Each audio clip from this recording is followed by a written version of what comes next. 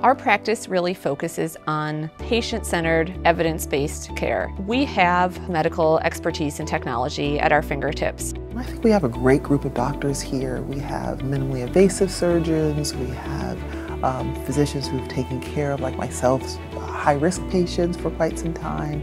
The greatest thing about our group is that we all are really supportive of each other and we recognize that we can't make this thing work without being a good team.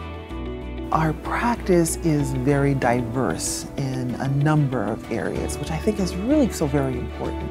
Everybody here is really kind and focused on the patient experience. Everyone will go out of their way to do the best thing for the patient.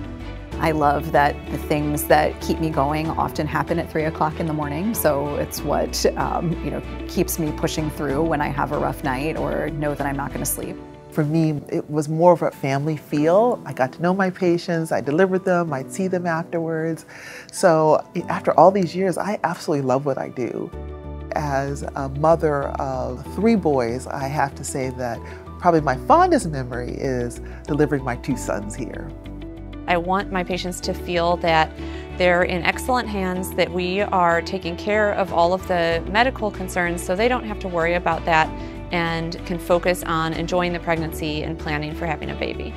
We love the fact that given the diversity of our group, we hope that you can find somebody who is perfect for you.